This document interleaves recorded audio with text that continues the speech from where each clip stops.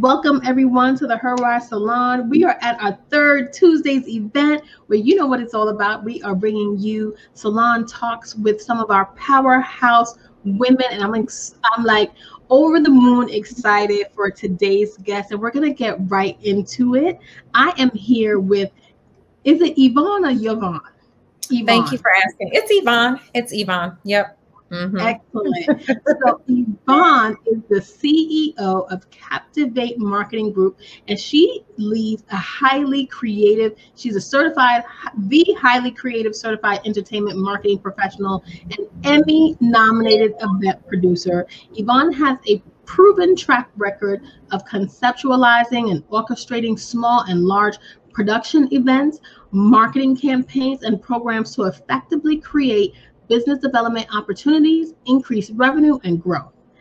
Yvonne is known as the powerhouse behind the scenes, closing deals, structuring, sculpting entertainment, one exquisite experience at a time. She has worked with some of the biggest names and brands in the entertainment industry, from grassroots organizations, Fortune 500 companies, and A list artist. Yvonne started her career early in the music industry under the mentorship of Esther Gordy Edwards, sister of Berry Gordy, and creator of the Motown Museum. At the age of 22, Yvonne was featured on the cover of Crain's magazine as someone to watch in the industry. Uh, the tutelage from Miss Gordy Edwards proved as an on ramp for her career. And I'm excited to have you here today. Thank you for being here. I wish I had Thank a sound. You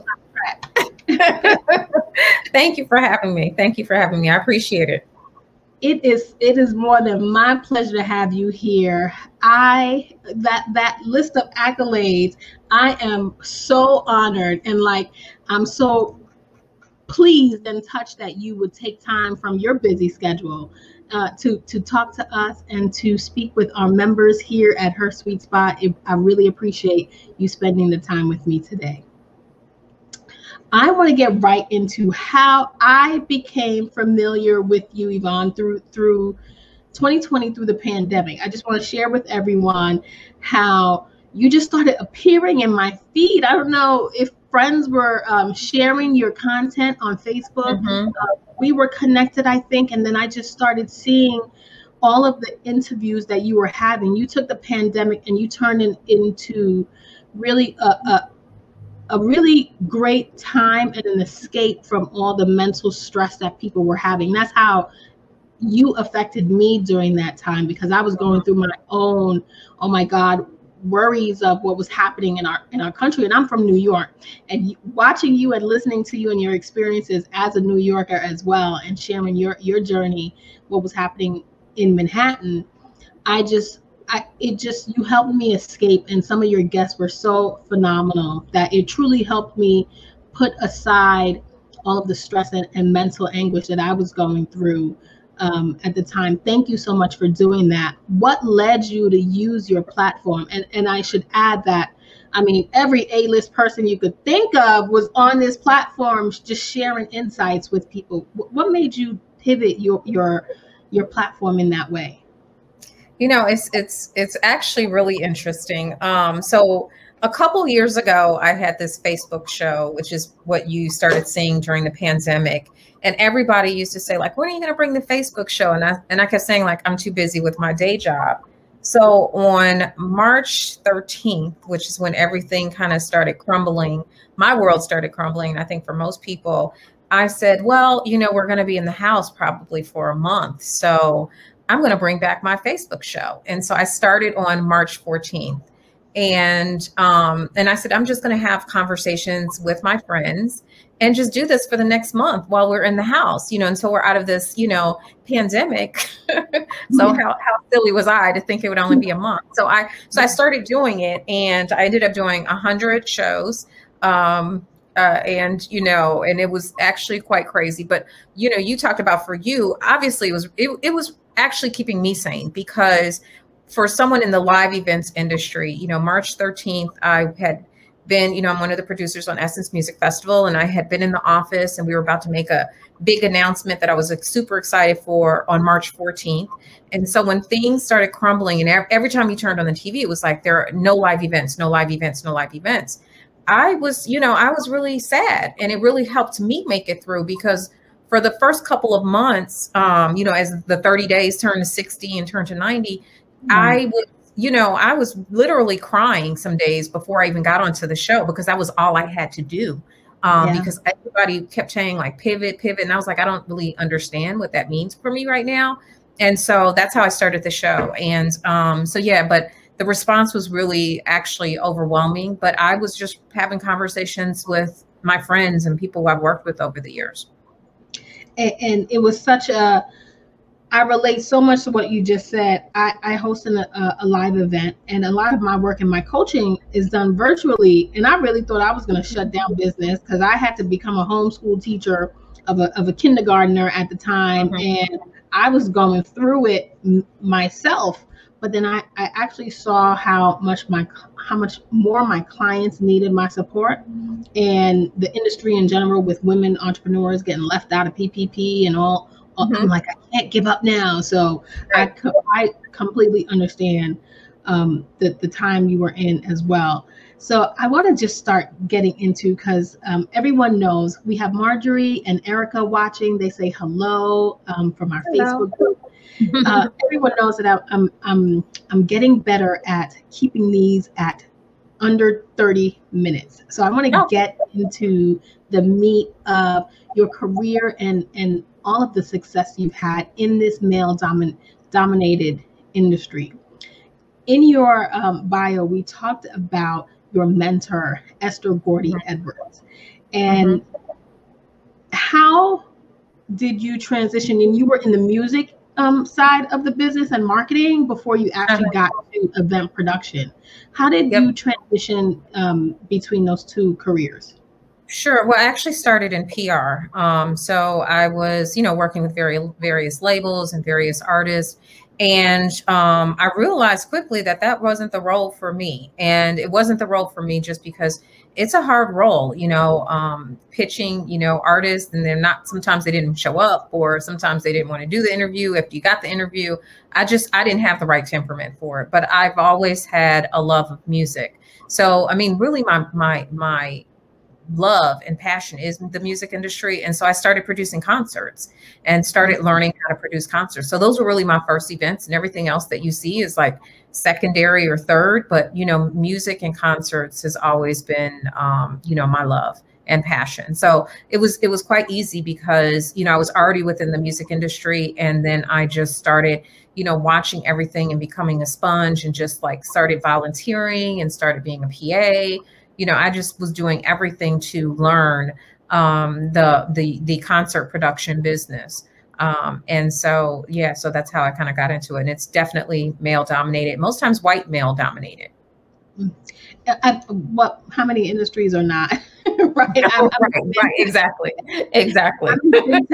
being African American women, as you're climbing up the corporate ladder in, in that in that way, handling all those uh, roles and positions with someone like Esther Gordy Edwards as your mentor, a female uh-huh. at that, how did she or what advice did she give you as you were navigating your career in order for you to make it and fight against all of these males?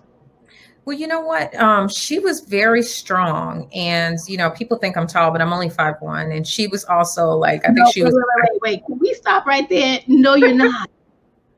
like, I am. I'm only five one real. Like I would think that you were the tallest person in the room. People always think that. People always think that I was, yeah, they always think I'm going to be like six foot two or something. But yes, I'm only mm-hmm. five one. And she's like, you know, five feet as well. And also she worked with a lot of men. But, you know, I, you know, I was so young at the time, but I just remember how, not that I'm not young now, but I was so young. And she would just come over to my house and she would just like tell all these stories. But really, I mean, everything that I use today is what I learned from her in terms of marketing, in terms of being persistent, in terms of speaking up for yourself. Those are all the things like I really owe everything about how I moved to her and my parents, you know, because she really mm-hmm. taught me so much. And I use a lot of those techniques now. And obviously you and you know, you use stuff that's modern, like, you know, you apply it to what you're doing right now. But a lot of the that the methods that Motown, you know, how they did and how they groomed those artists and how they worked with artists and and um, you know, even working with brands too. It, I learned that from her. Absolutely. How pivotal was it to have a woman as that sponsor and that mentor? How, how do you think you would have been? You most likely you definitely would have been as far as you are, but have you have you ever had any males male mentors the way she mentored you? And no, no, really. Mm-hmm. Mm-mm. I never, no, I've never, I've never had a, a male mentor in the same way that she was. Like I have men in my life that give me advice that I can go to and I can have conversations. But she really took me under her wing. I mean, it's so funny because there's this picture, it's on my Instagram of me with her, and I'm like dressed like her. And I was like, why were you dressed like that 60 year old woman? Like I was trying to be her, you know, right. like she really just took me and, and and I even had regrets like later because you know, when you're young, you don't you know, I should have recorded conversations or I should have done this, you know, because she would just come over and I would just sit there listening to stories. I mean, even, you know, like stories about Diana Ross, Smokey Robinson, even Mary Wilson. Mary Wilson, actually, you know, who recently passed away, came to my home before when I was wow. young. So it was just, she was just really immersing me into, you know, understanding how the music industry works and how it works for women um, mm-hmm. as well. So no, she really, um she she really became like a second mother to me to be quite honest. So no i've never had that from from uh man.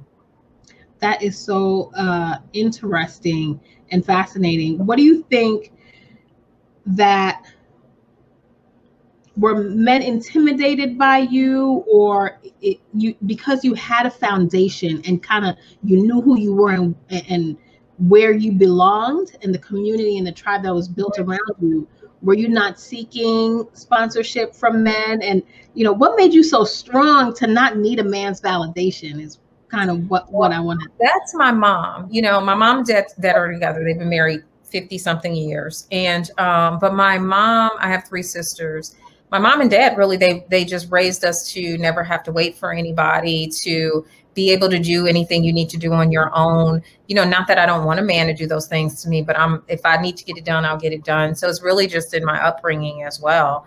Um, but you know, I think in terms of the question of are men intimidated by me? Uh, yeah, absolutely, absolutely. I'm, you know, people will name nameless, but I, you know, I'm working on a project now, and I'm the the first woman and the first black woman to ever work on this project. And you know i find them to be very intimidated intimidated by me and you know often can be condescending. Um, and i think and, and i actually find joy in that because it's a great opportunity for me to show them that show them that i'm no more than them.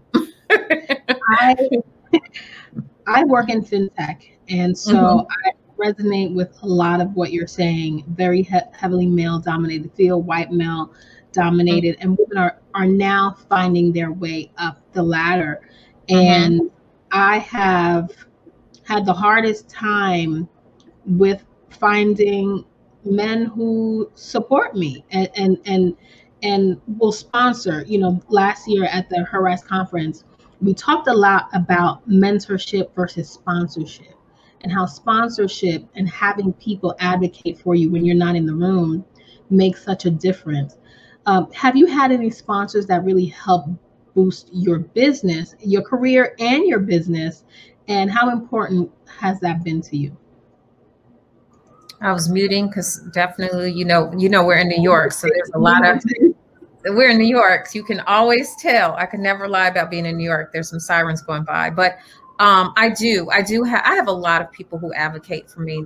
First of all, you know, um, for many years, I wouldn't do any interviews, I wouldn't do any features or anything because I was just so focused on building my business and building my reputation. And thankfully, you know, and I was, I'm always so thankful because people are mentioning my name in rooms when I'm not there and mm-hmm. speaking up for me and advocating for me. And, you know, so a lot of my business is actually word of mouth because I have people who advocate for me. I don't do a lot of marketing other than what I post on social media. But um, yeah, I do I do have people who advocate for me, but they advocate for me because they know that I'm going to show up, I'm going to do the work, and I'm going to do my best, no matter who the client is, big or small. That that's so. I love what you just said about you were so focused on building the business and your reputation that you wouldn't do interviews and you had people waiting to share your story and wanting to put you out there for exposure what would you say to people? Because a lot of my clients and entrepreneurs all they look for is exposure. And i'm the one that like you i'm running my business and i'm, not out here. Although this year I'm, I'm hoping to make that change but these past seven years i haven't been trying to be in the limelight so to speak up front. How were you able to maintain that focus and especially having the rolodex that you have how how can you maintain such a cool and calm ego like I, I feel through watching you i was able to connect with you through social media and then felt comfortable because it's not everyone i feel comfortable without a direct um, uh, introduction. A lot of my executive, a lot of the leaders, such as yourself, that I have on my platform, I've been introducing. I, I build a network around it. But I kind of cold called you and, and been following you. How were you able to build that? Um, I don't know if it's resiliency or, or, or, you know what I mean? Like you're so down to earth, but you've got everything that people are like wishing they could have in, the, in their sphere of, of uh, resources. You know, I think for me, um, you know, because I've had to work very hard, you know, um, I've had to work very hard. I had to do all types of jobs. And I um, I think that I don't get caught up in it. I think that first of all, I love what I do. And I don't ever get caught up in who's in my Rolodex or, you know, who I'm speaking to. You know, I keep it, I keep it very confidential. Um, and I just don't ever get caught up into it because I think when you get caught up into it, you lose sight of, you know, what you're really here to do and your purpose. And I don't ever want to lose sight of that. And so with that, you know, my relationships, I mean, people trust me, you know, they trust me. They trust me like no other. I'm super loyal and they trust me that they know that if they need something from me or if they're calling me for something, then it's not going to be, you know, on TMZ or, you know, whatever the case may be. I just really stay focused on I have a purpose and I know that I want to work a certain way and work with people a certain way. And it's not short time for me. You know, many of the people that I work with, if you talk to them, they've probably worked with me and known me for many years. Um, so I, I think that that's so important that you just don't get caught up. Um, you know, I think with social media, it's easy to do that. Um, and to feel the pressure to do that, but I've never, I've never felt that. I mean, it took me so long to even, you know, I mean, literally, people were asking me to do interviews for years, and I, I would decline because I just didn't, I just didn't want to be perceived other than what I really am. Right. And um, I think sometimes you get caught up, and, and the perception can be really off. Right. Turning back into your early career in PR and pitching, I'm all mm-hmm. about um, in Her Suite Spot. We deal with mindset, money, marketing, and media, and I really mm-hmm. do help are uh, my clients and women in the network and men uh, in the network really hone in on getting media, but not so much worrying about the traditional high level media, right? There's many mm-hmm. sources of media. What is your recommendation as to how people can navigate getting, reaching out, pitching, and or doing their own work and not necessarily who people who may not have the budget for publicists? Mm-hmm. Yeah, I mean, I think that, and I, I, would also say, like all the press, you know, that I've received, and I'm, I'm fortunate to receive some great press. I've, I mean, it's all just been either someone reaching out to me or me having a conversation. But I think that when you're really um, clear in what your business vision or you know whatever whatever it is if you're pitching you know a service business whatever if you're really clear on it and can really have a good pitch in terms of like you know this is what i do this is who i help i think it's actually quite easy. I think people, you know, probably have a block and think it's harder than it is, but it's not harder. It's not hard if you're able to really just sell yourself and be authentic in it. I think people um, navigate and are drawn to that. So I don't think, you know, yes, it's great if you can afford a publicist, but you should be able to tell your own story. You know, um, I don't know if you know Michelle Ghee Um, she was just named CEO yeah. of Jet, but yeah, she's she's a great friend of mine, and she and she always says that you know people know their company mission, but rarely know their own. And so it's like when you know, and I think that's so true. When you know your mission and you can speak on your mission, I think it's a lot easier to pitch yourself to to to to do anything.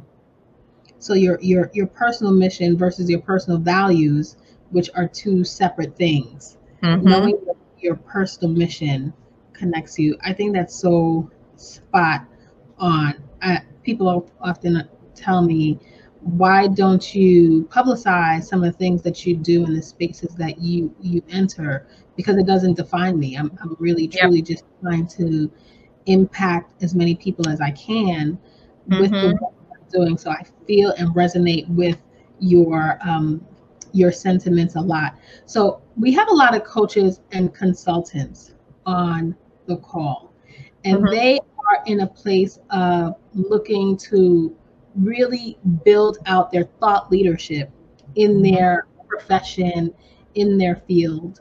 How, if you have any advice on building thought leadership and i think you just said it is really just connecting and being authentic right mm-hmm. using social media as a way what, what are some recommendations uh, you may have or what are some of the things you do to just connect with uh, a new set of audience on social media um, you know what? I, you know, I don't actually deliberately try to connect with new audiences. I just come as myself, and you know, so I do that on you know anything anything I post, you know, um, you know, some people, uh, you know, I have some friends who are like going on and on and on about, you know, what their caption is going to be, and I'm just like, I'm just saying what I think right now because I know right. that it's not going to be anything that you know would wouldn't be appropriate. So I just come as myself. Um, I don't.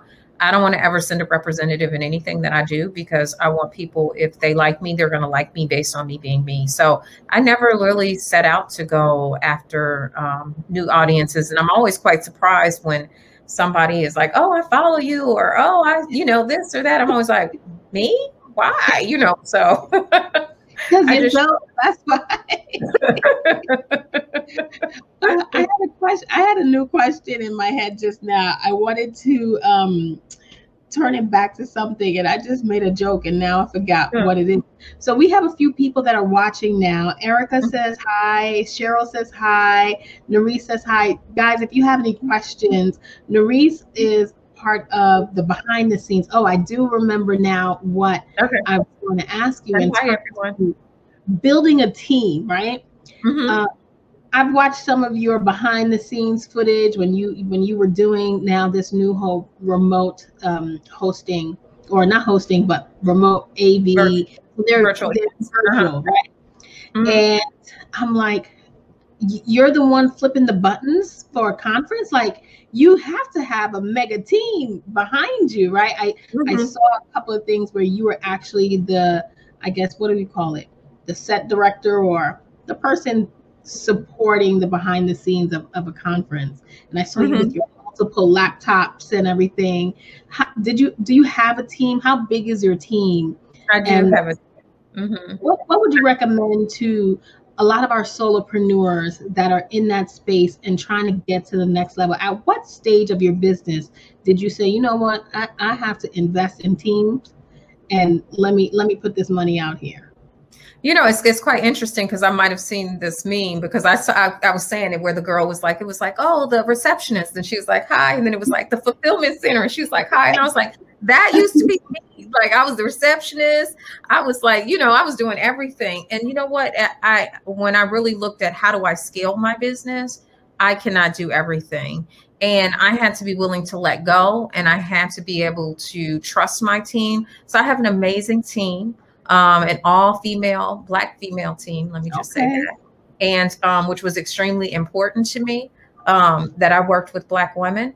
And the reason is is because there's not enough of us in production, and I want to make sure that there is. So my team is is 100% black women, which I which I love. So I have a team of seven, and then I have you know a solid AV partner. So when I'm showing up for some of these events, um, you know, it's about 30, 35 of us in total, you know, to pull off some of these larger um, productions. But um, yeah, that's that's that's how I do it. But it, but during this time, I'm in my home office right now. But during this time, you know, I have built a control room in my um, home office. So I have all the you know the screens and multiple yeah. laptops, iPads. You know, I have everything yeah. here so that I can um, pr- promote. I mean, produce from home. But I do go into the control room um, in Brooklyn for for some of my events.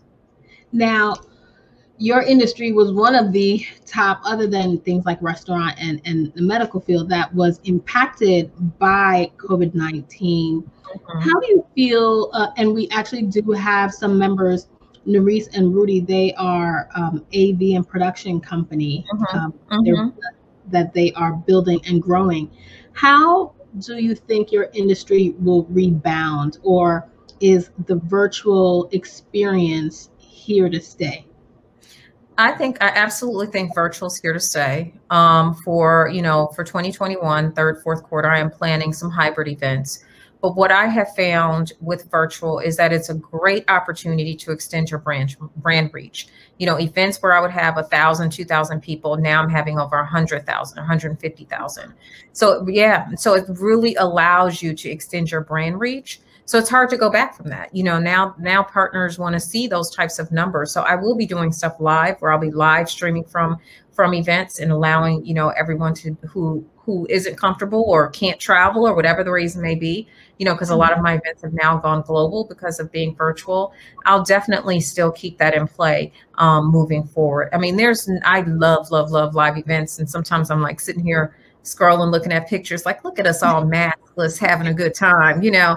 And so I hope, you know, to to um to go back to that way it was with large concerts and stuff like that, because again, that's my passion. But I do think um it's virtual is here to stay. And so, you know, in that time where I was doing my show where everybody was just like, just jump on Zoom. And, you know, I was like, that's not an event platform and that's not an event. That's when I took some time to like you know, because sometimes you have to slow down and speed up. And so I stopped and was like really learning, you know, we're now we're building platforms and websites and, you know, doing all these things that I never thought I would be doing before. So yeah, I think virtual is here to stay. I love what you just said. Slow down to speed up. That's a drop, mm-hmm. right? Mm-hmm. You watching, and I say this to my clients all the time, and they're like, "No, but but but but I'm ready to make this kind of money." Um, so if you want to do that, we have to slow down so you can mm-hmm. get to mm-hmm.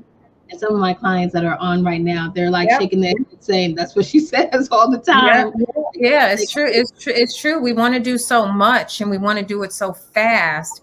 And yeah. sometimes you need to just stop. You need to organize. You need to evaluate. You need to restructure. You know, sometimes you have to do that. And I'm not saying, you know, do it to your detriment. I mean, I know we all have bills to pay, but sometimes, you know, we cannot always be juggling and moving from this to that. And and I think that's what COVID has been a teacher for a lot of us is that we were forced to sit down.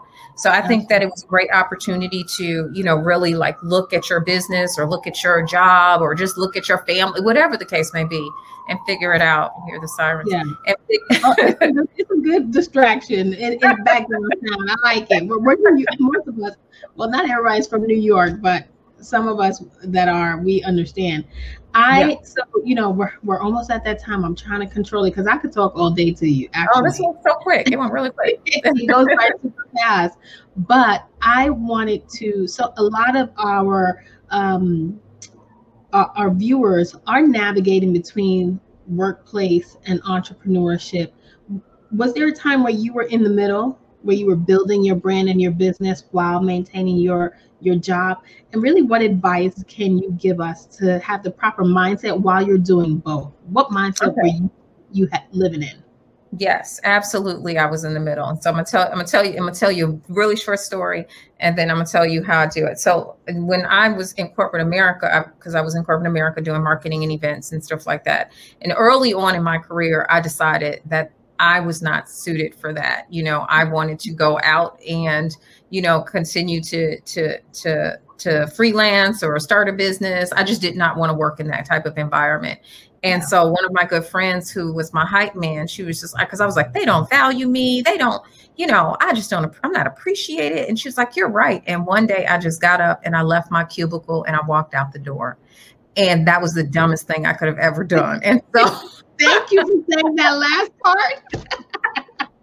it was so dumb. And so I always tell people because people think it's that easy. And I yeah. thought it was that easy. Like I could just walk out the door and I could just become an entrepreneur. And so I quickly had to go back to work. And it was years later because what I started to do was like I had that in my mind where I knew my end goal was that I wanted to start my own business and being an entrepreneur. And so I went mm-hmm. back to work and I focused on it and I learned. And I went back to grad school and I just tried to figure out how to structure a business. And so I started building clients. And so, you know, I literally would work full time and then work and stay up late and, you know, work on the weekends. But I started building up a clientele until I was comfortable because I didn't have the luxury of someone just investing or you know giving me money where I could leave. So I built up clients and then I became an entrepreneur. So don't just leave your cubicle or your office, you know, build up um, you know, however you can and, and get the tools that you need. I mean, going back to grad school, you know, I didn't go right from undergrad to grad school. I went back and I was able to take what I was learning to be able to apply it directly to building my business. So, um, so that's that's that's how I how I was able to go from you know working in corporate environment to um, having my own business, and it's been 13 years now. So you just said you built your client list and then became an entrepreneur. I, I picked up what you was putting down. Can you explain your mindset then? Did you not believe you were an entrepreneur, or do you have a different um, impression of what an entrepreneur, the, the term, everybody's a CEO, uh-huh. about the, every, they, they put labels on things, but I like how you framed it. You built your business, so you were running your business, but then you saw yourself as an entrepreneur. Can you give us just a little insight as to what that means yeah, Because I mean, I, I do think that everybody thinks that, I mean, this entrepreneur life is not for the weak at heart. You know, like it's, it's a responsibility, especially if you do want to have a team and making sure you're paying that team and making sure you're taking care of that team and making sure you can trust that. It's so much to it, especially when you go through highs and lows and you know who knew a pandemic would hit but there's a different mindset that you have to have um, i believe to be a successful entrepreneur and so it took me some time i might have had an entrepreneurial spirit but mm-hmm. it took me some time to gather the tools that i needed to be successful and so that's why when I left that for the last time, um, when I left that time, you know, I was able to, um, you know, really start growing my business and um, never looking back, you know, because I was able to really grow, uh, you know, and get solid in terms of being an entrepreneur and, and, running my own business. You just dropped another one on me, and you probably don't even know, but I'm I picking up. Know. you, you had that entrepreneurial spirit so oftentimes people are throwing around this entrepreneurial spirit, right? Especially in corporate America. Bring on your entrepreneurial spirit, but they don't want to really validate and, and, promote you with that same spirit they want you to come into on into corporate America with. The spirit doesn't equal the full rewards of being an entrepreneur. There is a difference. So I'm That's glad different. you I'm mm-hmm. glad you said that. We have a couple of comments from our uh, viewers. Jennifer says she loved the necessity of a team and slowing down conversation. Thank you, Jennifer. Dr. Jen, I should say. Question What is the difference between our attitude versus people attitudes towards communication with others to collaborate? That's a great question and just leads to the conversation of collaboration in general. Mm-hmm. Um, what are your uh, your feedback for that? I mean, I think I think collaboration is really key to being able to scale. I mean, we can't be afraid to partner with people, and we have to be insecure in what we do so that we can partner. Because I think a lot of times it's a little insecurity when you are afraid to collaborate and partner and you feel that you got to like control everything and make sure. But someone can take my idea, but that doesn't mean they're going to be able to execute it the way I would execute it. So I am very secure in the services that I provide, how I do it, how I came up with it. You know, because someone tried to say they came up with my idea and I was like, I came, this is how I came up with it. And I gave them exactly how. And I was like, well, how did you come up with it? You yeah. know so you can you can absolutely try and take an idea of mine but that you know you're not going to execute it the same way. So i am not afraid of collaboration if it's going to help me scale and help me expose my business to other opportunities or other people that i might necessarily um, reach. So i think collaboration is is key to scaling. And I say scaling a lot because I think sometimes as Black people, we don't ha- always have that in mind. We're trying to maintain, but we're not trying to scale. And right. so I'm trying to continuously think about how do I get to the next level? And uh, I'm always going to try and maintain, but I also want to be thinking about big, being bigger, thinking bigger. Right. Right. Which is what I say the difference between a small business owner and an entrepreneur does. Small business mm-hmm. owners, they look to, keep the lights on. They look to, you know, get things uh, uh, week to week, month to month versus an mm-hmm. entrepreneur who is looking for that longevity and that growth. Um, so we say, we have Marjorie, do you use a decorator florist on your set when you're hosting uh, or producing events? Um, yeah, I definitely I use uh, you know, it depends on the event. Um, but yeah, I do I use a florist and I also um so I'm trained in event design, so I'm certified. So I do come up with my own designs and renderers um, for events, but absolutely I use um, companies that can be able to execute and do the fabrication for those sets. Marjorie is the owner of Embley Florals, and she does um, event uh, decorating and floral design, and she's done it for the Her conference for the last few years. So, uh, awesome. She is she's pretty awesome. I think uh, Susan says I worked in a large entertainment center and lost her job in March, and she knows what kind of job uh, she wants, what she don't want, and she's looking mm-hmm. for a virtual customer service job. No intention of going back to the office. I have um, I hate the office politics. Yes, there's a lot of that that goes on. Mm-hmm. Let's see if we're, we have any other followers. Um, someone says on um, how others can follow us in the beginning. Oh, how how can others follow us in the beginning of our business? So the the question is more towards a, a really early stage startup, mm-hmm. how to get um, followers. I think on social media. Yeah, see, for me, like again, I didn't, I never deliberately go after followers. I do the work, and I feel like it comes organically. Um, mm-hmm. so I don't, I don't ever, I, I don't have advice on that because I just focus on the work, and then you know the followers come, the projects come, the money come. You know, I just focus on doing great work. So I, I never, I never take that approach on um, building followers. But I know it works for some. Mm-hmm it does work for a lot and, and, i don't do the i don't do that either i have a social media team because we need to stay connected and engaged to people but mm-hmm. i've gotten all my business through referrals just the same way and yeah. through my live interactions i mm-hmm. before covid obviously i traveled the country going to other people's conferences mm-hmm. attending being in the room where my potential partners and clients were so that i can meet new people in order to continuously generating that yeah. buzz for for Her Suite Spot and the and the coaching programs and such that I do. Mm-hmm. So I think mm-hmm. it and I have a hard time with these lives and going live to generate mm-hmm. intention of sale or generating business. For me, mm-hmm. it's, it's a hard sale for me to do, but one that I do and tell my clients that they have to get used to doing in order to really get them in, in the in the in the vibration of uh, video and connecting especially right, in this right. time, in this digital time. But Yvonne, I am so thankful and I've had such a great time chatting with you today. I thank you so much for your time and sharing all your insights and dropping all these little nuggets. I'm sure you weren't realizing all the things you were sharing and dropping